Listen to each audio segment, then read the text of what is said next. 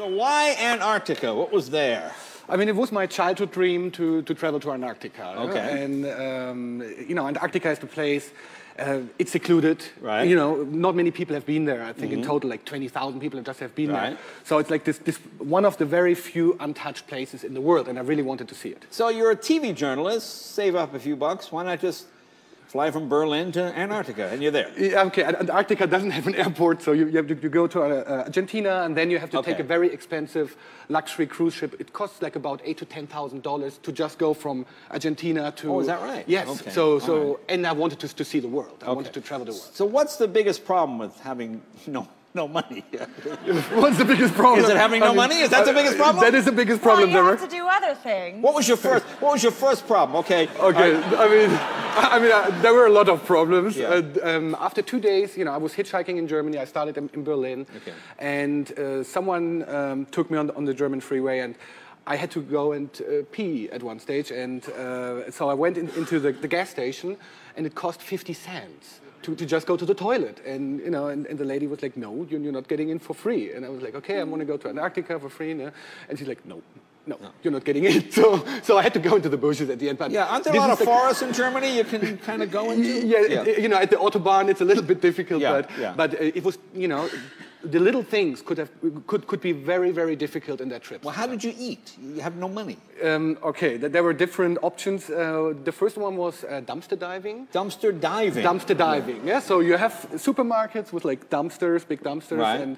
um, I, I went in there by night. You have to go over a fence, you know, go into the dumpster. It's, you know, it, it's not so nice, you know. You sound like a cheap date.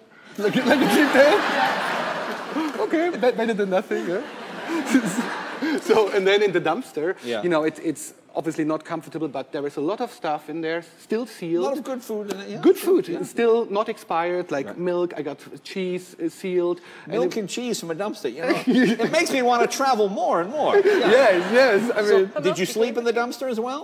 uh, no, no, I didn't sleep in the dumpster. Um, um, So you have continental breakfast when you wake up. It's It would have been good, sure. Okay, maybe next time. Maybe next time. Right? Um, no, the, the sleeping part. Um, I had a computer on me, Yeah. like little computer. I could, I could log into free Wi-Fi networks in all Okay. coun- in co- uh, countries, and there is a very interesting internet page. It's called Couchsurfing.org. Mm-hmm. People have their profile, like like on Facebook. Yeah, but it's uh, you know, but, but you can write to people and say, look, I want to sleep on your couch for free. You know, people offer their house and their couch, and I've done that a lot of times, and, and people let me stay in their houses for free. okay. Yeah. So now, you must have. Did you learn? I mean, would you have invited me? No. Um, well, maybe. Maybe. Okay. Okay. I am awful lonely these days. Okay. I mean, I'm I, I'm down for couch surfing. Definitely. I'm sure. Yeah. Did you did you earn money along the way so you could buy things or eat? Yes, I had a back, backup plan whenever things didn't Okay, didn't work out. yeah. I offered services.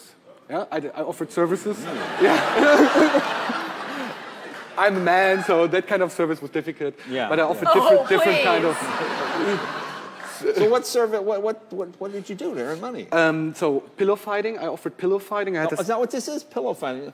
Now what is Yes, th- there, there, it, it's me with a sign, pillow fighting for a dollar. So I had two pillows in my hand, Yeah. and I offered people, look, if, if, if, if you fight me with the pillow, uh, you, you just chip in a dollar. And uh, it, it worked out quite well. And how many people would fight you on a daily basis for a dollar? um, like, f- uh, like daily basis, about 50. 50? 50 people in San, in San Francisco, and there. oh, San Francisco. That explains it. I'm surprised you didn't make five thousand dollars.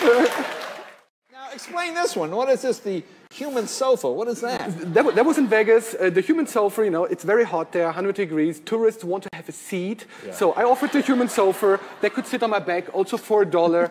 Um, was, yeah, was, was a good business. It was a very good business. Now this one, this other business, the hill helper. What what what, Yeah. what is the thinking there? Yeah, a lot of steep hills, especially San Francisco again. And, you know, people who, who who want to go up to Lombard Street, you know, they sweat, they're tired. And so I pushed them up. That's just a picture.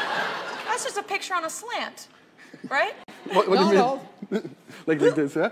No, no, it, it's, it's really like. You, uh, you push them up the hill. All Yes, I pushed so, them up. So did any of these ideas fail? These creative ideas? Were you... Uh, yeah, a, cou- a couple failed. Um, I went in uh, Santa Monica to the beach.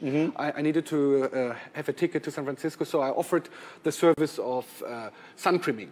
sun, sun creaming people's bags. Oh, oh, putting sun- sun cream, yeah? And, Yeah. and the man said right away, look, leave. you don't need to sun cream my bag, definitely Yeah. not. And the women said, look, look, you don't need to do that.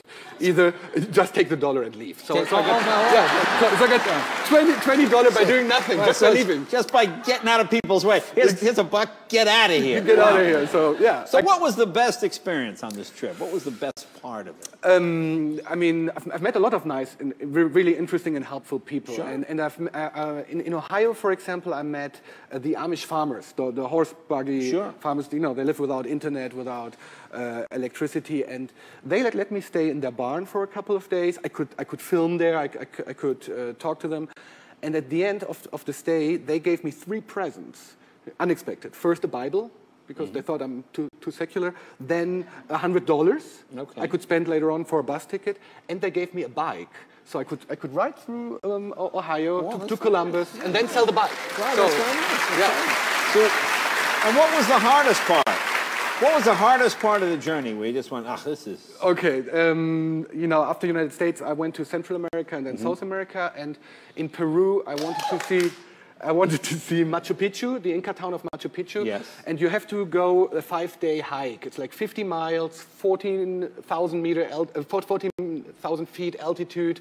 It's like a very tough hike, and I offered a service as a porter, so to, to, to carry the luggage of the tourists. Yeah, and so, you know, this agency said, okay, you're going to be the porter with, with the Peruvians.